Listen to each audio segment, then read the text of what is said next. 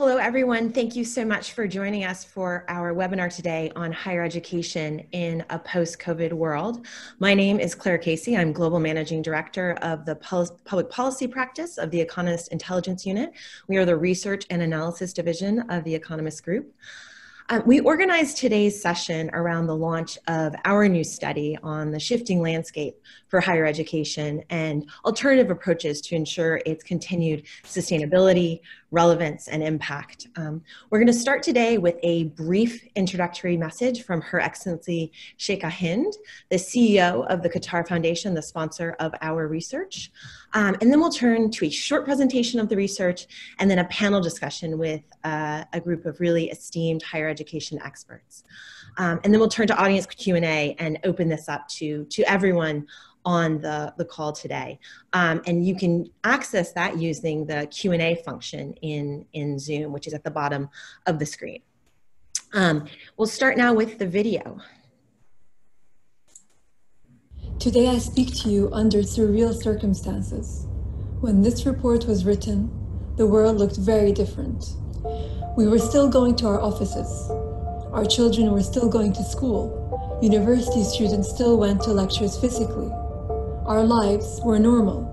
Now, everything's changed. In a matter of weeks, schools and universities have been suspended. 421 million children affected. COVID-19 has done the impossible. It's changed the way we teach and learn almost overnight. It sparked global conversations in education, conversations about future-proofing the way we teach, investing in cloud-based technologies, building resiliency in education systems. But is that really what we should be doing? Should we be future-proofing an education system that doesn't serve our children's futures? Should we be building resilience in an education system that has been so difficult to reform? Instead of fixing, adapting, supporting a narrative of education that puts values in our children that we spend a lifetime to unlearn, how about changing the language altogether? We know that education today, whether it's a freshman in high school or a freshman in university, isn't suited to our needs. We talk about self-motivated learners, but we don't let them choose. We talk about nurturing citizens of the world, but we fail to teach them to love and care for this blue planet. We talk about individuality, but we don't let them choose their own journey in education. We care more about what Netflix has to offer than our schools and universities. Our on-demand culture is even more visible in this time, yet education seems to be the only thing that we have no say over. Why are classrooms still designed for the masses when we know that each student's journey has to be different? Why can my daughter choose what she wants to read, but she can't choose what she wants to learn? Our system fails to nurture its purpose. Our global education system is a well-oiled machine, too well-oiled. We were so used to the way things were that we couldn't imagine it otherwise. Well, the good news is we know what change looks like because we're in the middle of it today. If this pandemic has proven anything, is that we as a society can change. Things that were impossible are suddenly possible. And although it feels like the world is collapsing around us, today we owe it to our children and our grandchildren to change what we know isn't working. As the Arabic saying goes, knowledge is sought. It doesn't come to you, you go to it. Today, the new page is no longer just a dream. Let's have the courage to truly be seekers of knowledge.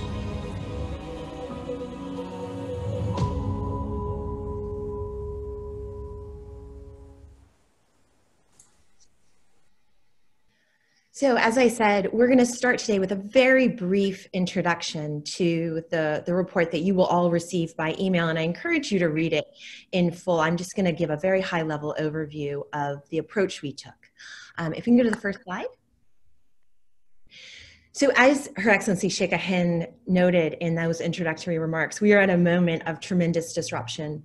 But prior to this, higher education institutions were already facing a shifting, shifting ground underneath them. So, what do we? What are some of those challenges that we looked at? How do higher education institutions contribute to an increasingly digital economy and society? How can technology be leveraged to deliver better and more inclusive education? How do they respond to growing demands, which is project, projected to skyrocket over the coming decades, but a real shift in the demographics of, the, of that demand, where geographically it is coming from? how do institutions strike the right balance between public and private provision? And that's something I think that we'll, we'll see even, even more um, in, in, in, as a pressure point in the coming years as as governments struggle to to to fund all the all the elements of society that they need to. Um, and how do we remain global in an age of what looks to be increasing nationalism? Um, if we go to the next slide. So what we did is evaluate five different mo models that can be considered innovative in their approaches to, to higher education. We looked at the online model, um, offering education to anyone, anywhere, anytime, um, which is flexible, scalable, and considered more cost effective. We looked at the cluster model, where you actually break down some of the traditional silos between institutions. We looked at an experiential model um, where you're actually bringing students out into the world and giving them tangible experiences and the development of transferable skills. We looked at the liberal arts model, which is what produced me and is, is um, historically been very popular in the United States, but isn't around the world um, and is spreading. Um, and the partnership model, where organizations are partners partnering with institutions in their communities, which is considered both an opportunity to get more sustainable funding, but also create a pathway to employment for graduates. Um, none of these models fits every context, and many of them can be combined in, in hybrid approaches. Um, but each one offers some interesting opportunities um, to address what the shifting landscape that was already existing and, and now this massive disruption um, in, in the COVID-19 economy. Can we move to the next slide, please? So what has COVID-19 pandemic meant for higher education? We have over 1.5 billion learners around the world who are not able to attend school or university. Um, that's millions of university students who are pursuing their higher education. Um, and academic institutions are having to acclimate to this new normal. Um, but what does this mean for the future of higher education? That's the question that has brought us here today. Um, I'm really delighted to welcome um, an incredible panel today that brings a tremendous diversity of experience. We have Francisco Marmolejo, who is the education advisor to the Qatar Foundation, um, which he joined after a distinguished career as an education specialist at the World Bank. We have Professor Tim Blackman, who is the Vice Chancellor of the Open University, which represents the online model that um, we evaluated. Um, we have Dr. Mary Schmidt Campbell, who is the president of Spelman College and brings to us not only a career of experience with the liberal arts model, but also the cluster model that is um, one of the case studies in our report. Um, and finally, we have Ben Nelson, the chairman, founder, and CEO of Minerva Schools at the Keck Graduate Institute, Institute who can speak to the experiential model case study in the report.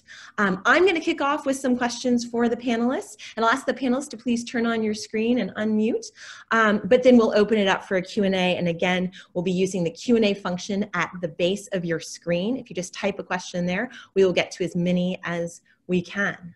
Um, I'm going to turn to, to you first, Mary, as, as the president of a brick and mortar institution. Um, how has this disruption been felt by Spelman? How have you adapted? Uh, I think, like everyone else, this this uh, this disruption was particularly jarring for our students. Um, almost out of the blue for them, they were uprooted out of what they call their homes. Uh, so they, within a week, they all had to vacate uh, the residence halls we switched from in-person to online education within a week. So uh, what we learned is that 80% of our students had never taken an online course. We learned that many of our students, not, not many, but a, a significant number of our students uh, didn't have adequate laptops or no laptops at all, or did not have access to the internet or adequate internet. So uh, within a very short period of time, we had to really rethink our pedagogy.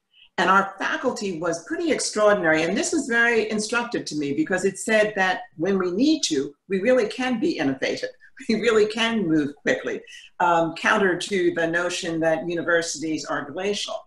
And the faculty came together as a learning community and began to talk about what their students needed to be learners and what they needed to be good teachers. So that was very encouraging because we're going to need to call on that as we begin to think of the next two or maybe even three years.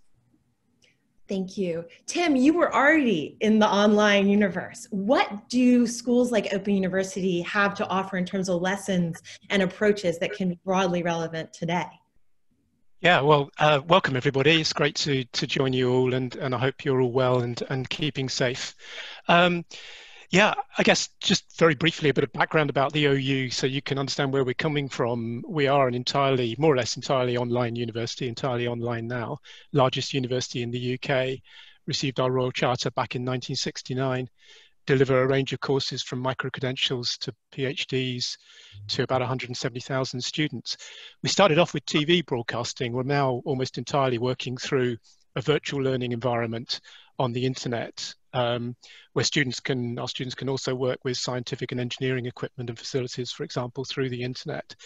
So we were pretty well equipped uh, in terms of the pandemic outbreak. Um, we've been able to keep our services running, um, not facing the extent of challenges that many bricks and mortar universities have had. Um, but we do have a large research and administration campus in, in Milton Keynes near London. Um, we had to get everybody to home working. Three and a half thousand people moved off the campus to home working over two to three weeks. Um, we also, small group tuition is a very important part of our model, even though we are entirely online um, now. But about one in five of our tut tutorials was face to face. now all our tutorials are, are run online. And like many universities, we've had to change uh, some of our assessment practices and arrangements, reprioritize. Some of our research has been disrupted, but overall our model is robust and we've been able to adapt and adjust to the situation and still serve our students in just about the, the usual way. Um, we also provide a, a, lot of courses free on our OpenLearn and FutureLearn platforms, and we've seen huge demand for those courses. And we've been working with governments in the UK and some around the world too to open up access to free learning so that people particularly challenged economically and in terms of employment worries can access opportunities to reskill and upskill while they're furloughed or, or facing unemployment. So we, we see that as an opportunity to reach out, open up access and really show what higher education can do in a crisis like this. Francisco, you you take a global view of this. Where are you seeing real variation um, internationally? Sorry, you're on mute. Uh, uh, yes, I'm unmute. Uh, can you hear me? Okay. Uh, first of all, uh, you know, welcome to everybody. Uh, it's great to participate in this conversation. You know, I think probably it's important to see sort of the global dimension in a way that uh, first of all, keep in mind that we are talking about more than 200 million students globally, which are not having access at this point to their campus. Um, so, you know, there is a recent report from the World Bank that I recommend everybody to look at, uh, precisely putting in dimension this, uh, the, the, whole impact of this.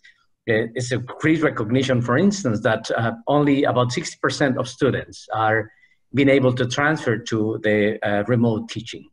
So what that means? Well, great news. 60% of them are able to continue in some way their education. But the bad news is that 40% of them are not. So how the systems are going to be addressing this? Of course, it is challenging. What, uh, what are the sort of the main factors here? Of course, response has been different uh, considering the uh, contextual differences in each of the countries. For instance, in the case of Qatar, it was interesting to see that in the complex system of uh, the many institutions that are part of the Qatar Foundation, in just two days, the whole system was able to be transferred into the remote teaching. But sadly, that is not the case all over the world. Uh, there are many factors involved there. First of all, structural uniqueness.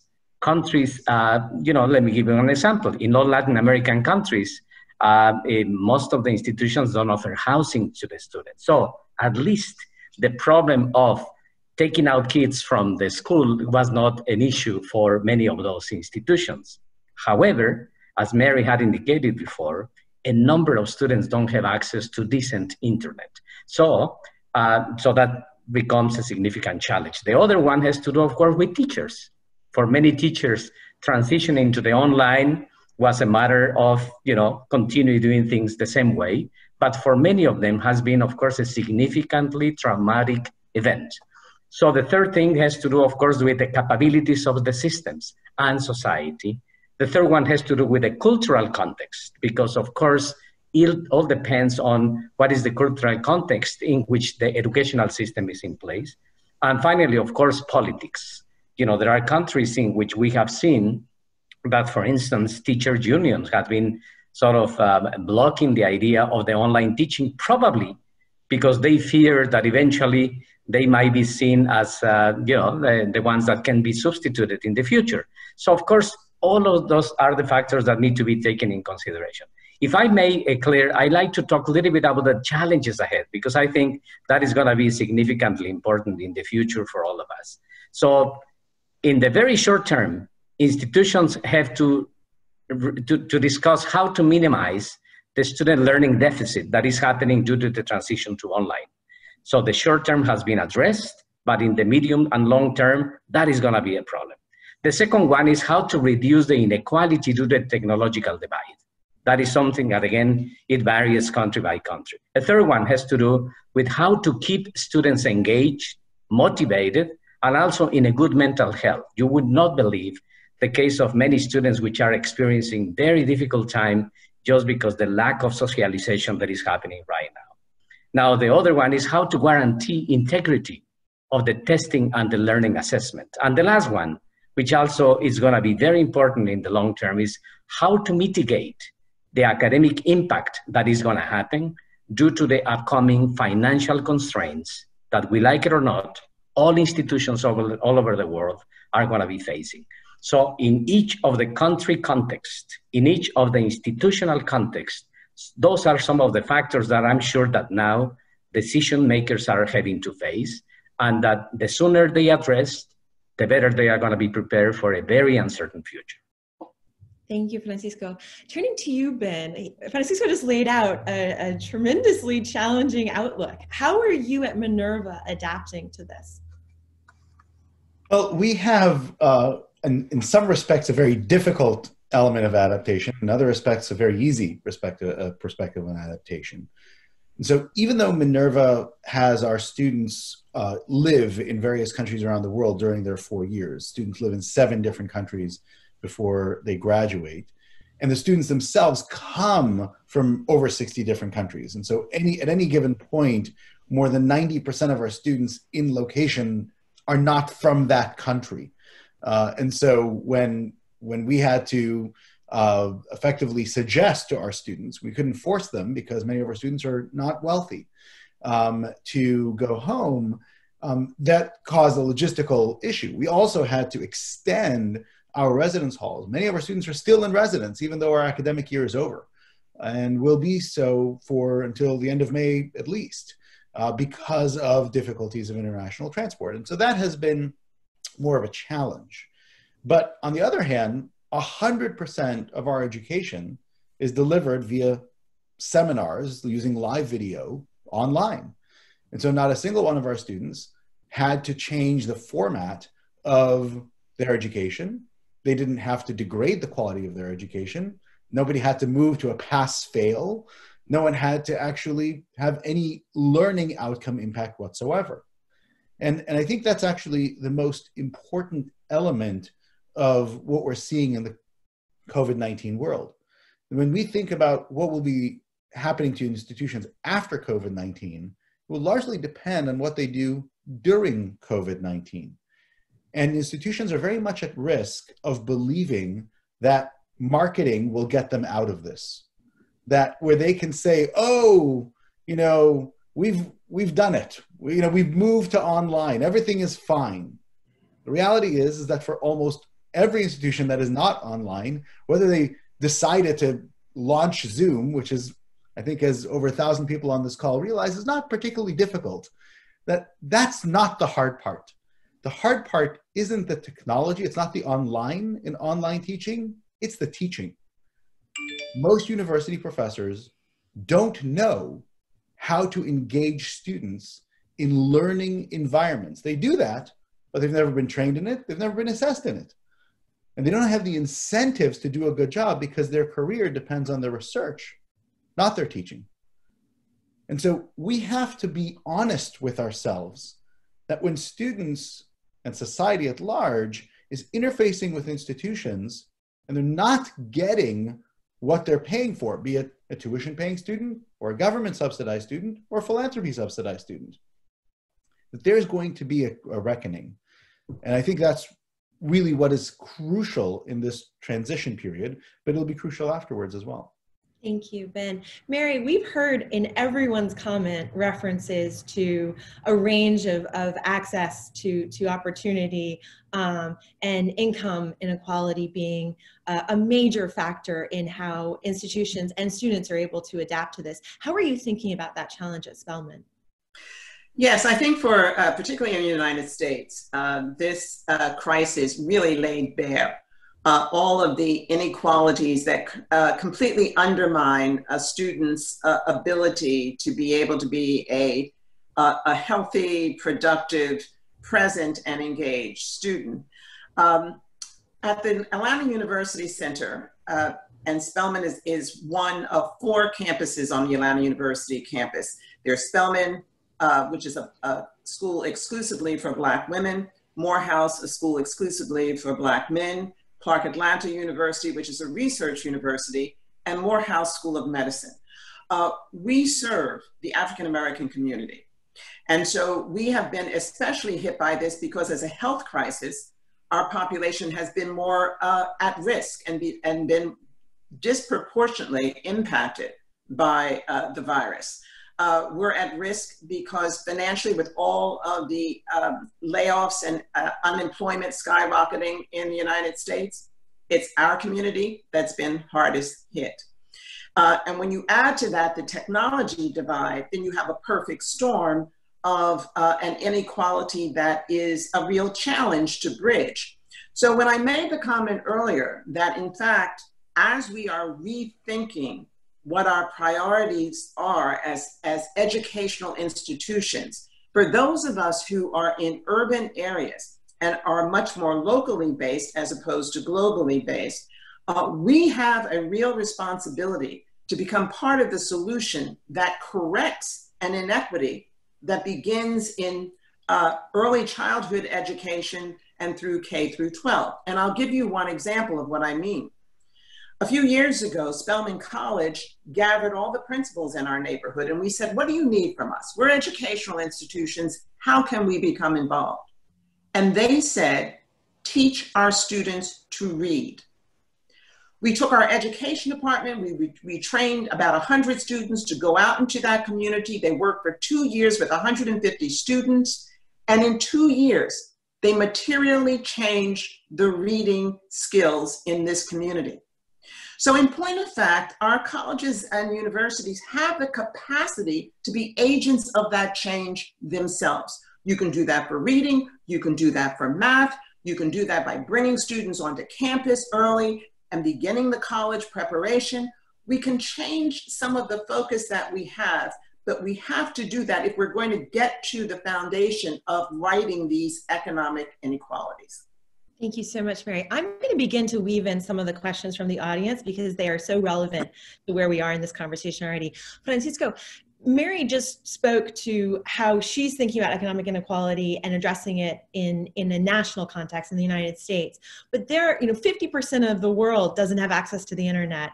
People are trying to adapt to this in, in very low tech environments um, and very fragile contexts. How what are the models? Are there are there approaches that can be deployed? How are you thinking about this at the Qatar Foundation? Well, you know, I, I think, uh, and that's why I find this uh, report that uh, that uh, you know the Economist Intelligence Unit has produced. I find it extremely timely, uh, you know, timely and extremely relevant, because basically what the report is, um, you know, helping us to think collectively is why not we take this significant, grave, and complicated time as an opportunity to challenge our assumptions, as a catalyst for change, I might say, and to be very serious about uh, recognizing if what we are doing as of today is really up to the standards of the future. Uh, you know, you, you, uh, all of us heard the, the message from, uh, you know, Her Excellency uh, when, when she was making the point about the fact that probably from now up to now we have not been able to fulfill that particular uh, predicament, I might say. You know, let me let me tell you about some of the assumptions that we are trying to challenge here at the Qatar Foundation, but also I'm sure it is applicable to many cases. Um, do students learn due to, despite of, or independently of what we teach them in the classroom? Honestly, many times we don't know. Our rankings are as important as we think they are. What is education about? Is about only preparing for the jobs, or is preparing personas? Is preparing integral citizens for the needs of the future? how outdated are uh, the academic workloads in our academic programs in our institutions? Do we still believe that the way to measure learning is by counting seat hours and having a simple grade? You know, all of those are assumptions that we honestly, seriously have to challenge today. Because I truly believe that unless we do that, unless we disrupt unless we are willing to take risks. Probably very soon, as soon as conditions become some kind of normal, the behavior of all of us in higher education will try to become the same as it was before. And I think what this crisis is telling us is that we no longer can have the luxury of assuming that things will be like they used to be and that business will be as normal as it used to be. It is time for all of us, and this is what we are trying to do in our work here in the foundation. It is time to, for us to challenge those assumptions and to try to think about creatively a redesigned higher education that is more responsive to the needs of future society. Thank you. Tim, I saw you nodding along as Francisco was speaking. I, I, what do you have to add to this? How, how is the Open University and you, how are you thinking about this disruption and adapting, adapting models going forward? Yeah, well, use of the internet and digital media is, a, is an incredibly powerful way to open up access to higher education. And, and you know, the use of these technologies has been growing right across the sector worldwide. It's a, it's a particularly good way for students to learn who need flexibility, who are combining work with study or have got childcare responsibilities or a disability. So um, although there are um, digital divides in, across the world, we shouldn't lose sight of the fact that using digital media and online is an incredibly good way to reach many people who wouldn't otherwise be able to benefit from higher education. Um, but a couple of other brief points. Um, ben made this point that, that really good online education takes a lot of investment. It takes expert mm -hmm. faculty, uh, expert designers, developers, uh, really good course design and pedagogy. And it's taken us many years to get to the standards we have at the Open University now. So it's it's not just a, a simple sort of transition over a few weeks to online delivery. It takes a lot of investment. But um, it's also important, I think, to appreciate that that how you do online education needs to take into account the fact that many people don't have great bandwidth. Many people only have mobile devices. So certainly at the OU, we design our online provision to be accessible, but to be, um, it can be used on a mobile device. It, it, doesn't require lots of bandwidth. So there are ways to take these um, inbuilt inequalities into account. Um, and that's something that's very important to our mission at the OU. Our, our mission is a social mission.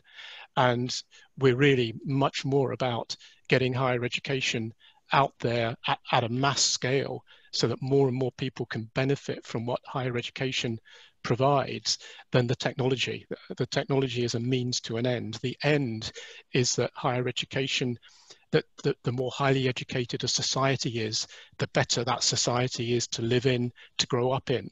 So that that's the really important aspect, I think, is finding a way for higher education to be as universal as possible.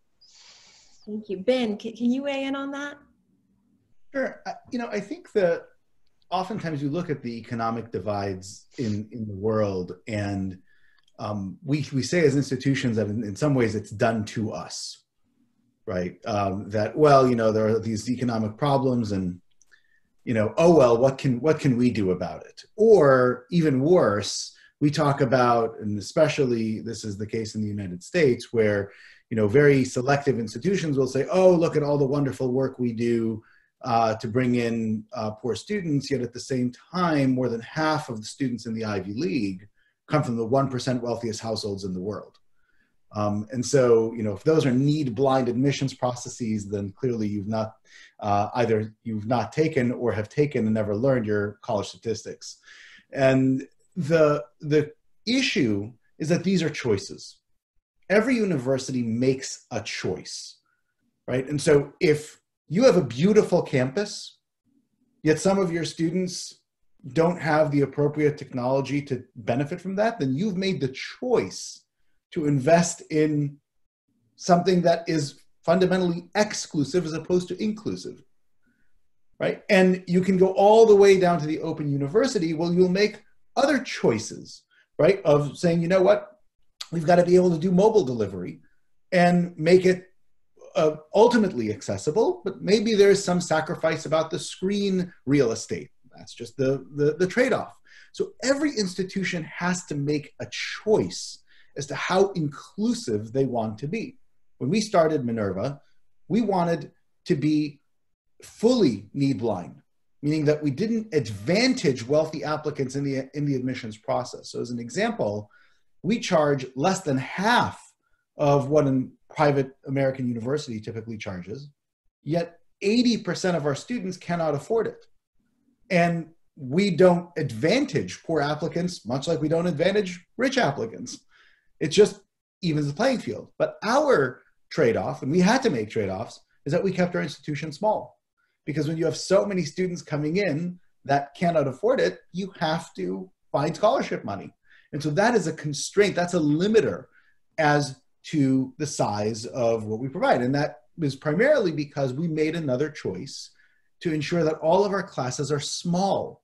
We don't have any classes that are above 20 students per class. Now, if we made a different choice and said, you know what, this education is crucial, and we have the capacity and want to educate thousands as opposed to hundreds of students, right? Then the constraint would be, well, let's offer it in large classes, which we can do, right? And so every institution has to make that set of choices, and we all have a responsibility, frankly, that society should hold us to, especially those of us who receive government largesse, whether it is directly, or in our case, simply because we're a nonprofit, even though we don't take money directly from the government, every time that somebody makes a donation to support a scholarship, the government gets less taxes, right? Less, less tax revenue in the American model. And so we have a responsibility to be stewards for society in the right way. And I think that government funding should be tied in one way or another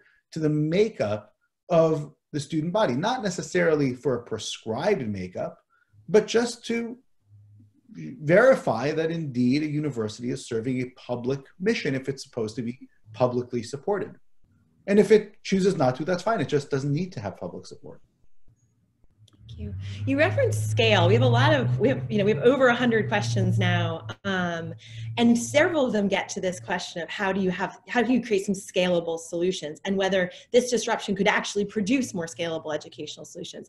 I'm curious, Mary, could you weigh in here on what about our how we think about education, how we think about the classroom model? What about that changes or does it? Do do do the old principles hold in a new environment?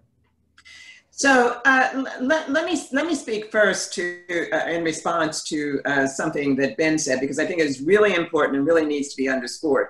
This this notion about we make choices. At Spelman College, 48% of our students are eligible for Pell, and and and like you, Ben, about 80 to 90% in any given year require financial aid, even though our tuition is half as much as the tuition of other uh, elite liberal arts colleges.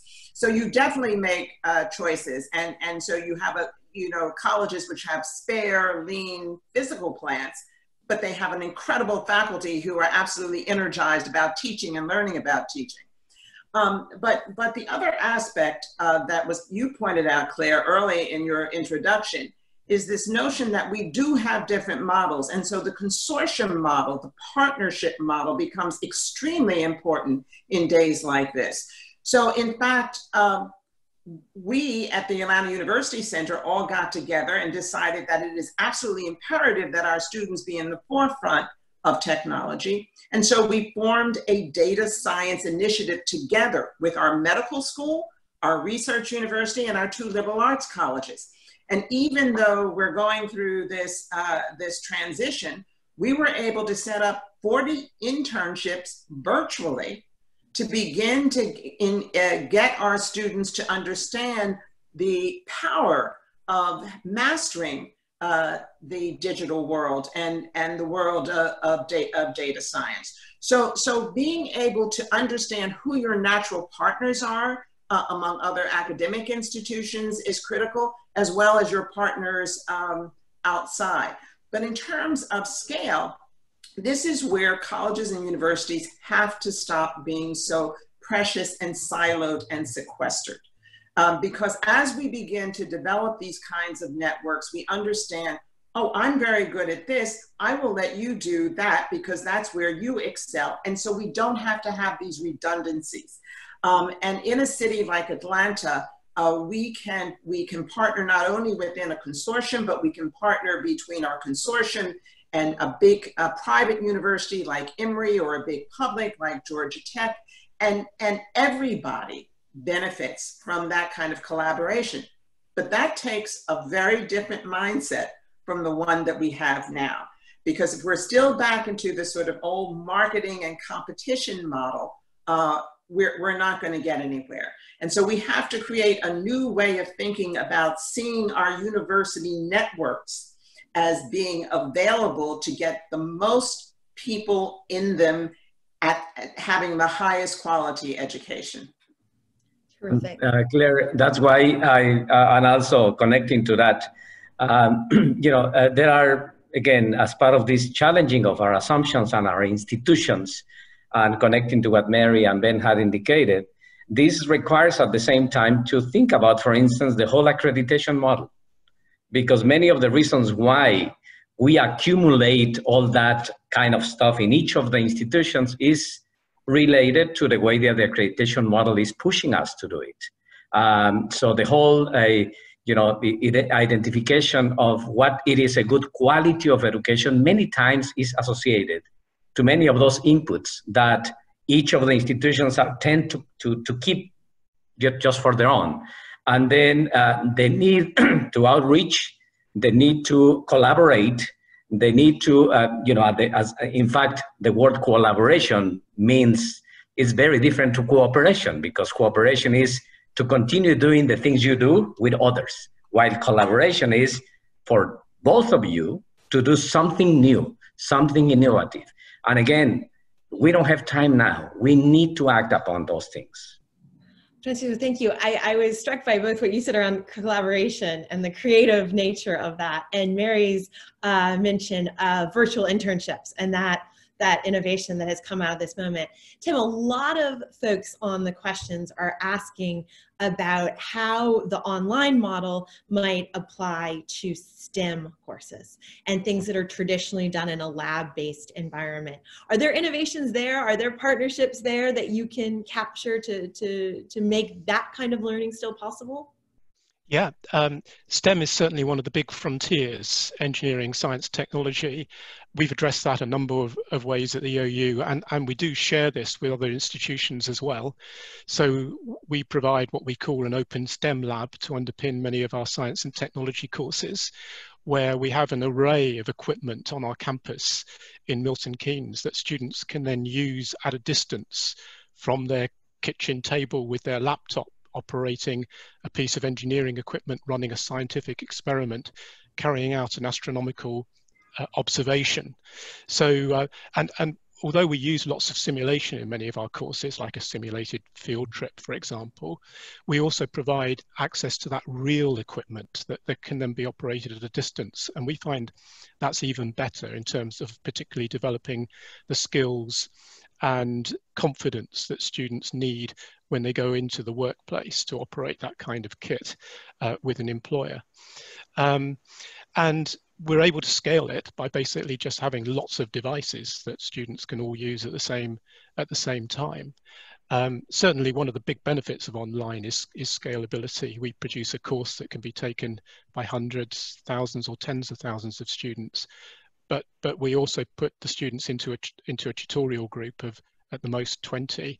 Uh, and that's based on often uh, very collaborative, collaborative learning models. So they're, they're learning the soft skills alongside the hard skills that um, is a mix of, if you like, liberal education and, and training for the workplace. And we find that works very well to work with a collaborative pedagogy to be able to develop that mix of competencies that a, a, student needs these days. And, and we find that we can scale that as well. So certainly STEM and access to uh, engineering and scientific facilities and collaborative learning, giving that learning that social dimension are real frontiers and probably the area that we're investing most in and researching most at the Open University, but it is possible to do it. Thank you. Ben, I wanted to turn to you. Um, a lot of our questions are about the future of international education. Um, I know I studied abroad. There are international students around the world. It's one of the things that knits us together as a global community. And it's part of the basis of your model. How are you thinking about the future of international education and travel and international students? Well, we think a lot of it, it can be a, a part of the scaling solution right? And so if you if you really uh, think about what the core value of education is in today's world, I would argue in a world after the printing press, but certainly in a world after the invention of the internet, the dissemination of knowledge is no longer paramount. There, there are far better ways to disseminate knowledge than to pay thousands, if not tens of thousands of dollars. And when I'm saying pay, not just the, the, the student, but government or somebody who's paying for this to merely disseminate knowledge. The key is to understand how to apply particular cognitive tools to new instances, to scenarios that you've never encountered before. That's colloquially known as wisdom. Right? And to teach wisdom, you actually don't have to focus on tests and memorization. You have to te- focus on applications. And so part of what we do uh, at Minerva is focus on teaching transferable tools and applying them in various contexts academically. So that means that when you are taking a science class or taking a history class or taking a business class, you're deploying the same cognitive tools to, to solve problems in those different contexts because that actually allows you to figure out how do I get to a root cause of a problem first before trying to solve it. And developing that habit is really important. At the same time, contexts are also true culturally. And so when you apply those same exact tools in your lived experience, both in a massively diverse student body, but also among uh, among different cultures as you travel the world, right? And that re- that transference of uh, applications is another important aspect. Now, to deliver the kind of education that we deliver, it turns out that offline instruction simply doesn't work because you need to actually have a set of data that goes with the student from course to course and collecting and utilizing that data in offline environments is incredibly difficult, especially when it's first introduced. So you can imagine what would happen if universities, for example, adopted their first year of education delivered online, even if their students happen to be living on campus, as we do with a number of our partner institutions, And then a university would say, you know what? And every single student will have to spend their third year outside of campus in different countries applying that education, even though, again, that education can be delivered by those professors on campus. Now, what, what that means is that a, a university with the same physical plant can accommodate twice as many students. And that's where you start getting some real efficiencies, right? As far as lowering the cost of instruction and making it accessible to more people. Fantastic. Thank you. Francisco, you wanted to uh, follow up there. Yeah, I, I like to, uh, you know, it's uh, on the topic of international education, because I see that there are many questions from the audience uh, on that as well. Uh, and connecting to what Ben is making the reference to. Uh, you know, if, if we see one area where there is a significant disruption right now happening in the entire sector of higher education is precisely on international education in terms of the number of students which are not going abroad anymore. At this point, it is estimated that around 70% of the students who were abroad now went back home. And many of them are not planning to return. So you might say, well, you know, if we have an institution in which we have 10 students, uh, which are international students, that's not a big deal. But let's go to a country, let's say Australia, where 40% of the national enrollment in higher education are students from abroad. So what are going to be the implications of losing that 40% of enrollment and also the financial considerations associated with that? So this is one of the times, again, in which we should challenge our assumptions. Our traditional assumption has been that the only way you can gain international experience is by going abroad.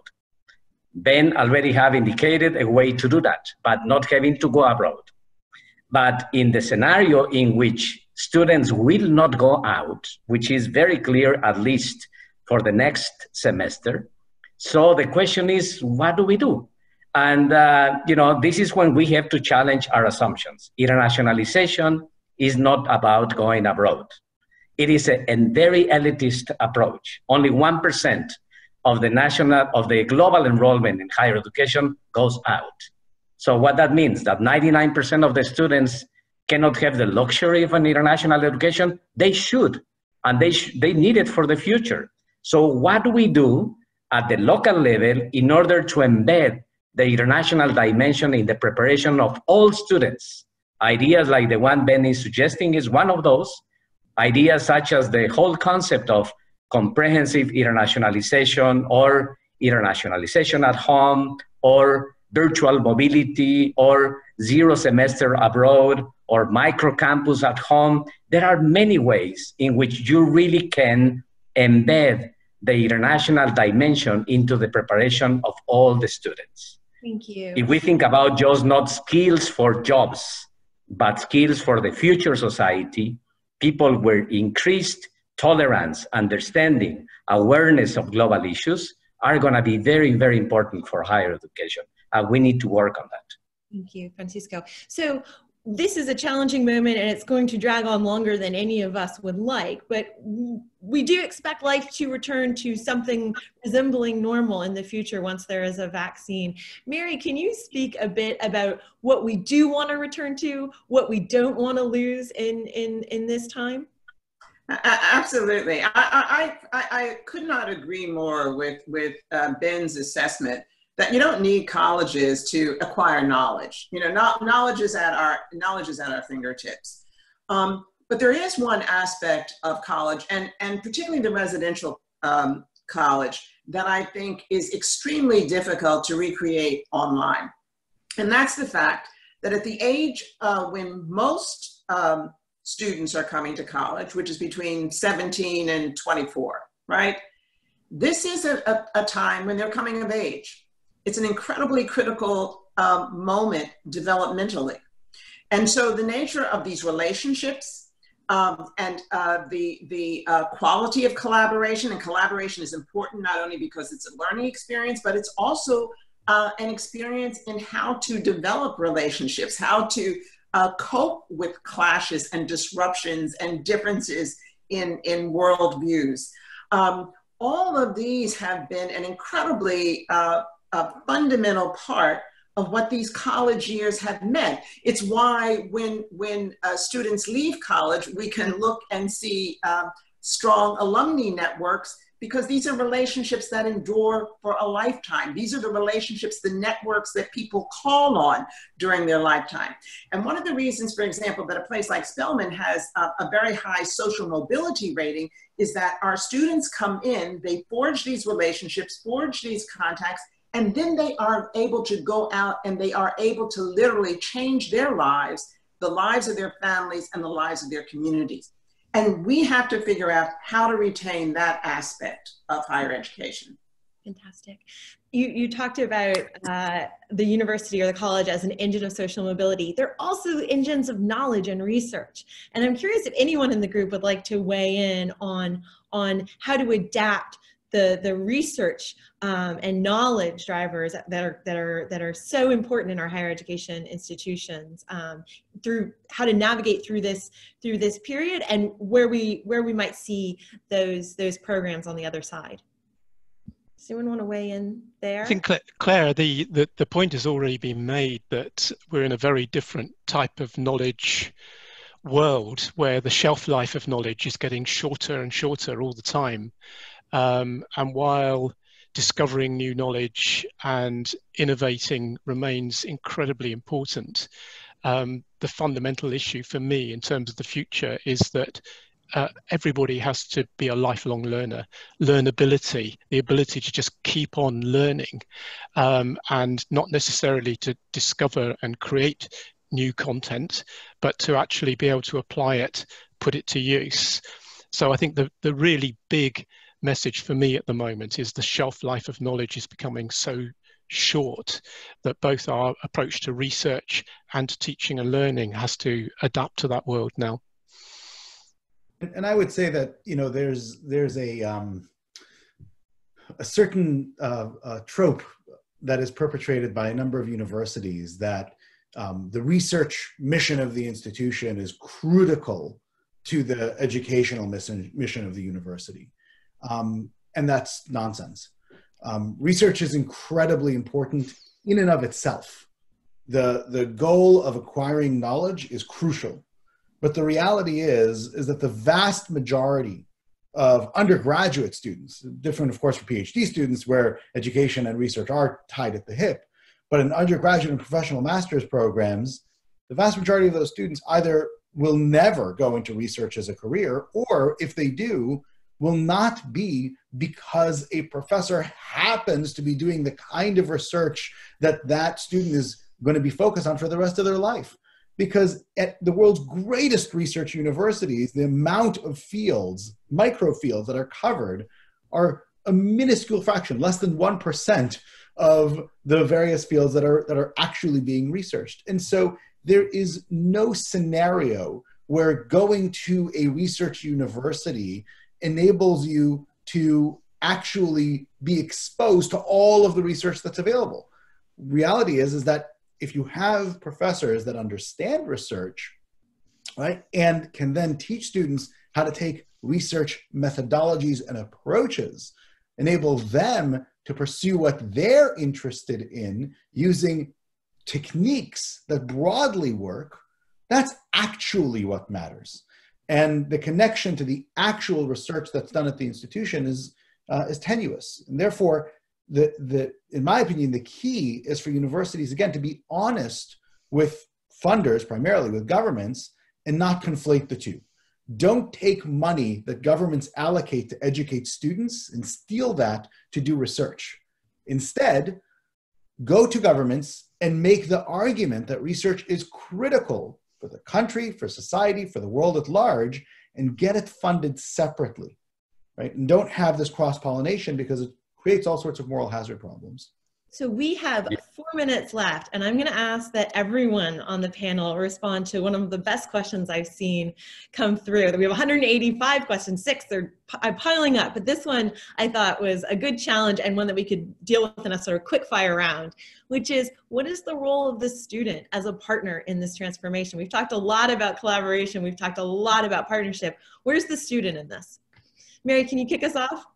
Sure. We, we, we just put together our team for the future. We're calling it the, the Future of Spelman 2021. And it was, we were absolutely clear with ourselves that we had to have student voice on there. And the student, I, I, we had our first meeting, and what she brought to the conversation, what she brought to the table was invaluable. Our students, one of the things that uh, makes for good uh, teaching is to create a student who takes agency over her own education. Um, uh, one of the things about a good teacher is that she gives that student that agency and allows them to make choices about their education. And so the same is true institutionally. If we're going to forge ahead and be successful, we have to have the student voice uh, in this conversation and listen to it along with every, giving it the same weight as every other voice. Great, thank you.